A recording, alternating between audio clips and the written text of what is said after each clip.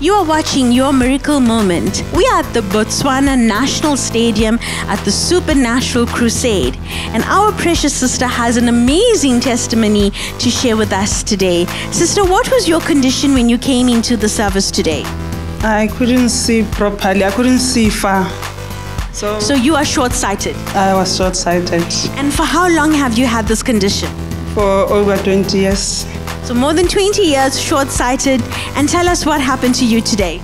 Preacher preached about it, so I grabbed the miracles. So I was healed by then. Pastor, this is quite fascinating because she's been short sighted since birth. And when she came in sitting on this end, she couldn't see anything. Now she's completely healed and she can see the whole stadium. Wait, wait, wait. She was short-sighted from the time she's born? From the time she's born, Pastor. and you can see the people right at the top.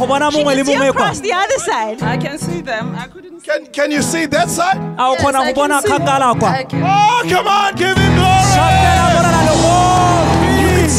The stadium, is that So right? then I just took off my, my glasses that I was wearing. Then I put them off. Then I could see very far.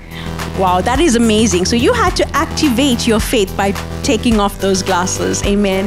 This is amazing. She's been short sighted for more than 20 years. When she came into the meeting, into the stadium, she couldn't see across the stadium. But she was prayed for in the glory. She took hold of her miracle. She received it, took off those glasses, and now she can see 100%. Amen. Amen. Amen. We give God all the glory for his amazing love and miracles that we have seen on our precious sister's life. We'd like to hear your testimonies also. You can write to us and tell us how God has healed you, whether it is in your body, whether it is in your home, in your relationships. We'd love to hear from you. Remember, miracles are normal.